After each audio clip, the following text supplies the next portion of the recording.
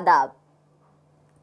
आमद सुनी जो उनकी अल्लाह इश्तियाक आँखें बिछा दी हमने जहाँ तक नज़र गई।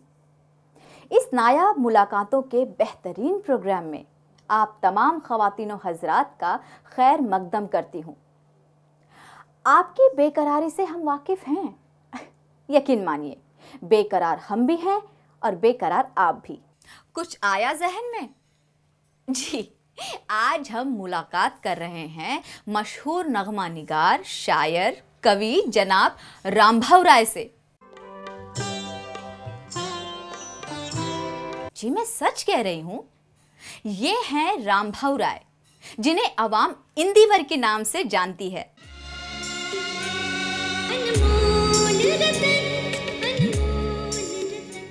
इंदिवर एक ऐसा इंसान जिसने मल्हार का राग छेड़ा तो पारस मणि की अहमियत का एहसास दिलाया। कस्मे वादे प्यार वफा के मायनों से रूबरू कराया तो ज़िंदगी के फलसफे को अलग ही अंदाज में बयां किया। मैं जब शुरू में स्टडी कर रहा था हिंदी की तो इन्हीं बच्चन साहब ने हिंदी को कब सम्मेलनों में मुशायरों की तरह पॉपुलर किया।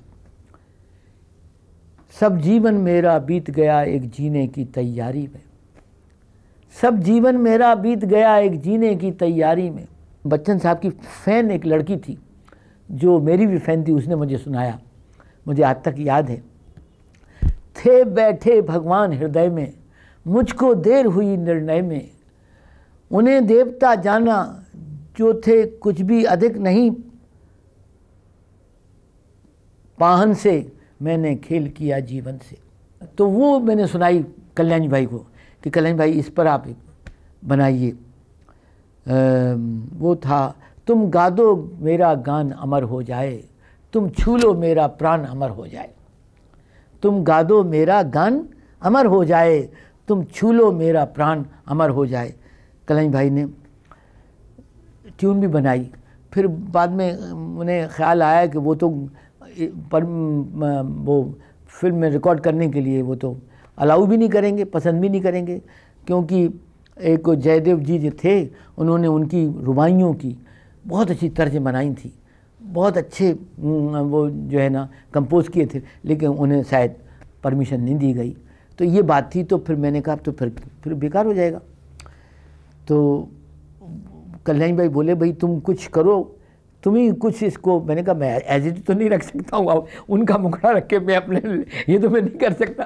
वो तो बहुत महान कवि है और बहुत इज़्ज़त करता हूँ, मैं उनका फ़ैन हूँ। मैं कोशिश करता हूँ कि मेरी भी चीज़ ओरिजिनलिटी आ जाए डिग्निटी इंटीग्रिटी मेरी बची रहे और गाना पॉपुलर हुआ। तो मैंने गाना लिखा। इंदिवर साहब। इंदिवर साहब के बारे में कहा जाता है कि एक तरफ़ तो वो बेहद संजीदा इंसान थे, वही दूसरी तरफ़ मस्त मौला इंसान। एक ऐसे इंसान जिन्हें वक्त के गिरेबा में झांकना आता था, जो वक्त की नब्ज और नज़ाकत को पहचान कर आगे का रास्ता बनाते चले गए। अब रही वो शंकर जयकिशन वाली बात, मैं उनका ज़िक्र करना ज़रूरी समझता हूँ। मनोज जी ने मुझे इंट्रोड्यूस किया तो वो पहचान में आया न मुझको प्यार जताना, प्यार तुम्ही से करते हैं।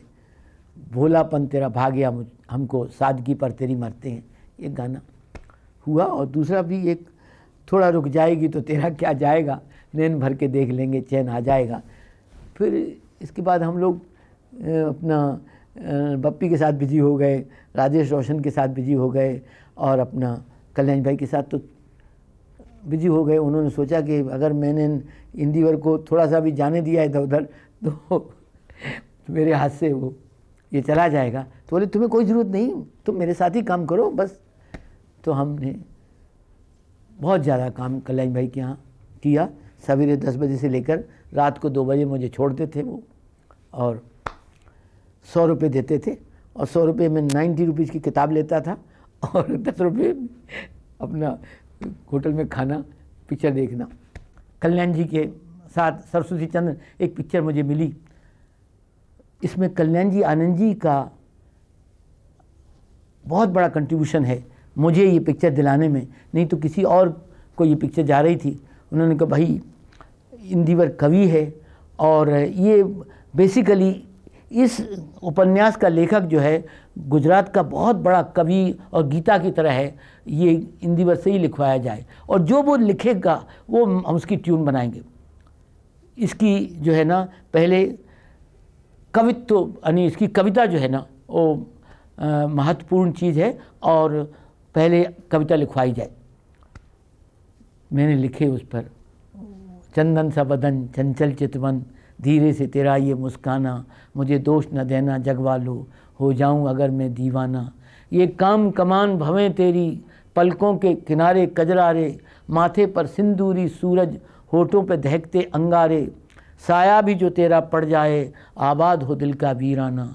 ये विशाल नयन, जैसे नील गगन, पंछी की तरह खो जाऊँ मैं। कल्याण जी भाई ने ट्यूनें भी अच्छी बनाई इसकी, और उन्होंने मुझे लिखने दिया। उनको ये क्रेडिट जाती है कि उन्होंने, सब लोग कहते थे, भाई, ये क्या है? ये पूरा कविता जा रही है। बोले, नहीं भाई, हमें कविता ही चाहिए इस पिक्चर के लिए और मेरा विश्वास देख के कि ये डेफिनेटली चलेगी। कविता हो, कितनी भी मुश्किल ज़बान क्यों ना हो मजरू ने भी कई मुश्किल चीज़ें लिखी हैं और चल, चली। शायर ने भी कई मुश्किल चीज़ें लिखी। लोगों ने सीखने के लिए भी उसको याद किया। फिर उसके बाद वो छोड़ दे सारी दुनिया किसी के लिए, ये मुनासिब नहीं आदमी के लिए। कल्याण भाई बोलते थे कि भाई, मुनासिब लफ्ज़ निकाली यार मुनासिब कहाँ से आ गया? ये हिंदी का वहाँ, गुजराती हिंदी का बड़ा भारी पोइट जैसा समझिए आप उसको। आप इसका मुनासिब के लिए कोई, मैंने कहा भाई, इसके लिए कोई हिंदी का लफ्ज़ ठीक नहीं है। ये मुनासिब मैं उचित तो लिख नहीं सकता, उपयुक्त तो लिख नहीं सकता, ठीक लिख नहीं सकता। मुनासिब ही। हमारे यहाँ यूपी में मुनासिब बात है, ऐसा बोलते मुहावरा भी है। फिर बड़ी मुश्किल से कल्याण जी माने, और वो गाना टेक हुआ। गीत सुनकर कई लोगों ने आत्महत्या करना बंद की, और मुझे बहुत विदेशों से भी चिट्ठियाँ आती हैं इसके लिए। छोड़ दे सारी दुनिया किसी के लिए, ये मुनासिब नहीं आदमी के लिए। प्यार से भी ज़रूरी कई काम हैं प्यार सब कुछ नहीं ज़िंदगी के लिए। अब वो जब भी रिकॉर्ड होता है जब भी बचता है कहीं तो मुझे सौ रुपये देते हैं। इंदिवर साहब के ज़िंदगी के फ़लसफ़े जब नगमों के शक्ल में अवाम तक पहुँचे तो हज़ारों लाखों लोगों की ज़िंदगी के फलसफे बन गए। गोया कि ये उन्हीं के दिल की आवाज़ हो? ज़िंदगी का सफ़र है ये कैसा सफ़र? कोई समझा नहीं कोई जाना नहीं चलते हैं सब मगर। है ये कैसी जगह? कोई समझा नहीं कोई जाना नहीं। फूल ऐसे भी हैं जो खिले ही नहीं, जिनको खिलने से पहले खिसा खा गई। ऐसे जीवन भी हैं जो जिए भी नहीं, जिनको जीने से पहले ही मौत आ गई। थक गए चारागर है परेशान नज़र, कोई समझा नहीं, कोई जाना नहीं। कहने का मतलब है कि सेंट पॉल की, अगर कहा जाए तो एक sentence. Life is to live not to understand क्योंकि एक चीज़ को समझने में आपका सारा जीवन व्यतीत जाए। और इसने अपने, वो भी कहा उसने लॉन्ग फेलो ने कहा art is long and time is fleeting आहा in the world's world field of battle don't be dumb driven cattle be a hero in the strife Longfellow ही ने कहा don't trust future, however pleasant, live and living present. But this is the life. Live and living present. फ़िल्मों में इंदिवर साहब के career का आगाज़ हुआ 1946 में आई एक फ़िल्म डबल फेस से बतौर नगमा निगार मगर उन्हें मकबूलियत हासिल हुई 1951 में आई फ़िल्म मल्हार के गाने से जिसने सुनी गलियाँ आबाद कर दी मेरे एक दोस्त साथी और जिन्हें मैं दिल ही दिल में गुरु मानता था। मल्हार से हम दोनों का साथ हुआ। वहीं से मेरी फिल्मी लाइफ शुरू हुई। बड़े अरमानों से रखा है बलम, तेरी कसम, प्यार की दुनिया में ये पहला कदम। उसी में एक लाइन थी, मेरी नैया को किनारे का इंतज़ार नहीं, तेरा आंचल हो तो पतवार भी दरकार नहीं।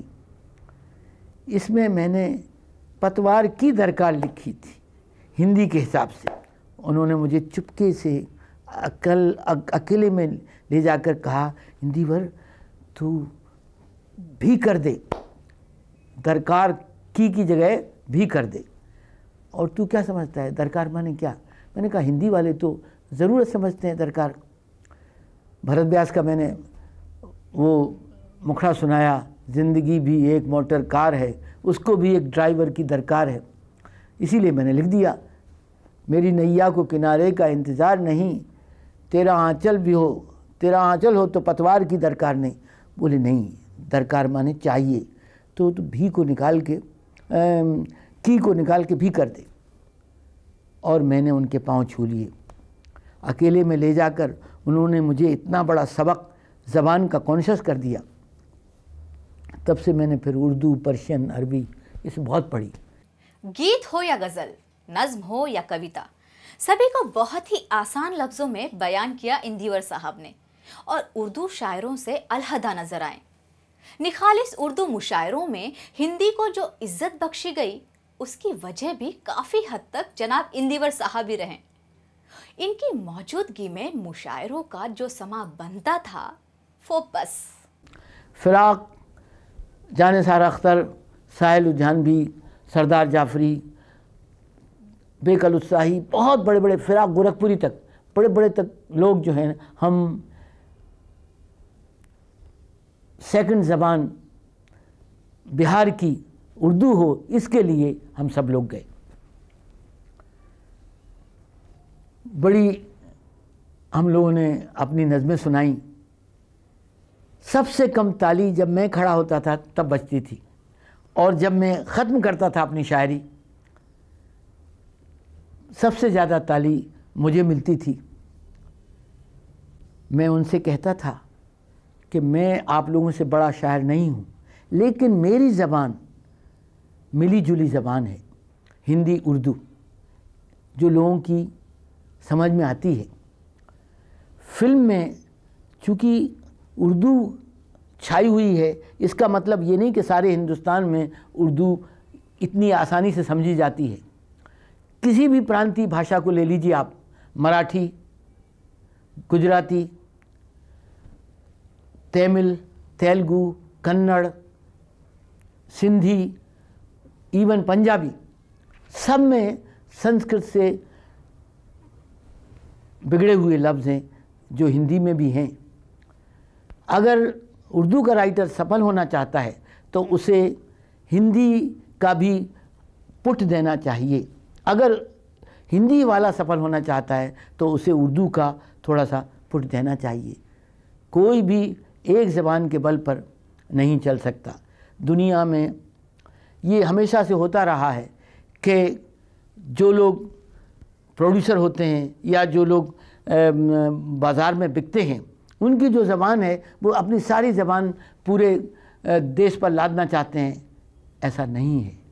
कामयाबी के लिए हमें जनता की ज़बान तक जाना है और जनता की ज़बान मिली जुली हिंदी है, उर्दू भी है, उसमें थोड़ी सी है। लेकिन ये सोचना कि चूँकि शहरों में थोड़ी सी उर्दू ज़्यादा जानते हैं, इसलिए पूरे इंटीरियर में पूरे देश के प्रांतों में उर्दू ज़्यादा समझी जाएगी, ऐसी बात नहीं है। मैं उर्दू के ख़िलाफ़ नहीं हूँ। मैं तो उर्दू मैंने खूब, खुद पढ़ी है, पर्शियन पढ़ी है, अरबी पढ़ी है, ताकि मैं अपनी भाषा को, अपनी शायरी को इनरिच कर सकूँ उर्दू से, अरबी से, पर्शियन से, इसलिए मैंने पढ़ी। कवि सम्मेलनों, मुशायरों में ज़बानों का हाल देखकर मैंने एक अपनी ज़बान का स्टाइल बनाया स्टाइल बनाया और फ़िल्म के गीतों का भी मैंने एक डेफिनेट रुख मोड़ा। एक हिंदी, उर्दू मिली हुई ज़बान की तरफ़ उर्दू से मुतासर होके काफ़ी हमारे कैब साहब जो उस, हमारे उस्ताद बन गए थे। तेरी चमकती आँखों के आगे ये सितारे कुछ भी नहीं। तू जो बढ़ा दे हाथ ज़रा, दुनिया के सहारे कुछ भी नहीं। आने वाली कल की तुम तस्वीर हो नाज करेगी दुनिया तुम पर दुनिया की तकदीर हो। तो इस तरह के गीत लिखते रहे। ये सब गीत जो पहले थे वो आ, मदन मोहन के साथ थे रोशन जी के साथ थे फिर कल्याण जी का दौर आया। वो हिंदी नुमा गीत फिर लिखे उसमें मैंने। ये प्रूव करने के लिए कि हिंदी ज़्यादा समझी जाती है। कोई जब तुम्हारा हृदय तोड़ दे तड़पता हुआ जब तुम्हें छोड़ दे यहाँ तक कि मुकेश जी को बोलने में भी तकलीफ़ होती थी प्रिय। वो कहते, कैसे चलेगा हिंदी पर? मैंने कहा, ये चलेगा। मुकेश जी ने अट्ठासी बार ये गाना ओके किया। रिकॉर्डिंग चल रही थी। मैं इतना खुश हो गया जब रिकॉर्डिंग ख़त्म हुई। सबको सौ सौ रुपये मैंने दिया